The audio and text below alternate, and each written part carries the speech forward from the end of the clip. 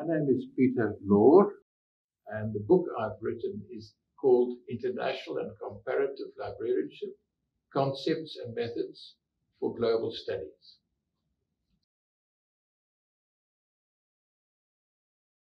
I had a long term involvement in IFLA and also in the Conference of Directors of National Libraries. And in the course of that, I became more and more interested in the field of international and comparative librarianship.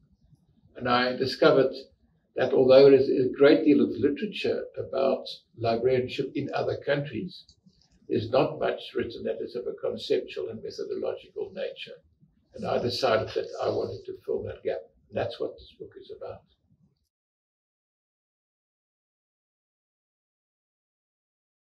Initially, when I started work on this book, I, my main intended audience was professors and students in, inter, in international and comparative librarianship.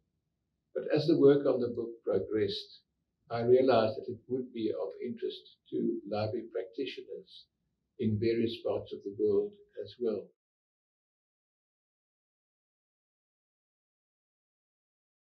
I think that the, the second half of the book, which is concerned with influence and borrowing uh, influence and the dissemination of in innovations, which mean, includes also the borrowing of ideas and policies from other countries, would be of particular value to, to uh, practicing librarians, and then even more possibly the um, probably the chapters that follow that deal with library development in various categories of, of countries.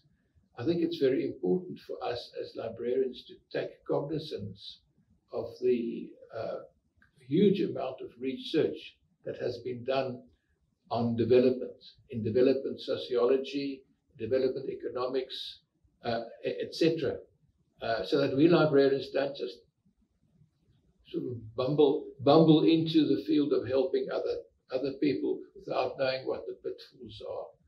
Which, and those pitfalls have already been, been uh, explored, have been discovered, by development workers in many other fields. I feel that we can learn a lot from what they've found out.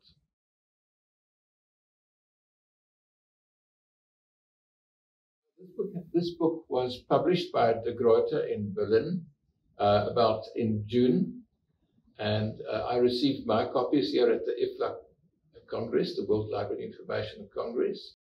It's actually a very hefty tome. It's more than 900 pages there are more than 2,200 references, and there's a very substantial index as well.